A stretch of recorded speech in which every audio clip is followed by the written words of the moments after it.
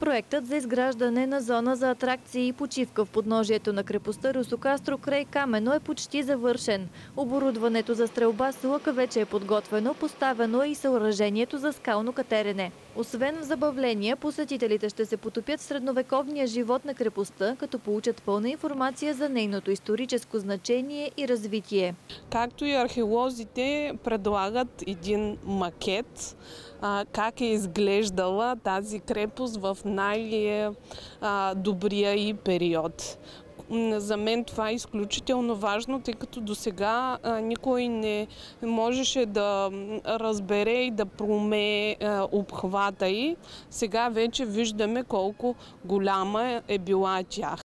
Все още продължава изграждането на павирания път, който води до зоната за отдих до крепостта. Ще бъде изградена достъпна инфраструктура до самата зона, тъй като към момента там пътя е малко по-трудно достъпен с автобуси. Надяваме се, че още този сезон и туроператорите ще могат да качат туристите или до самата зона за отдих, или до самата крепост Русокастро. До крепостта на хълма ще се стига както с транспорт, така и пеша.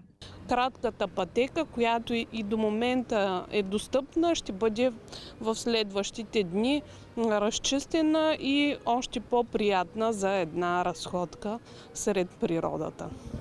Този проект има изключително важно значение за развитието на община Камено, тъй като към този момент крепостта е единственият туристически обект в населеното място.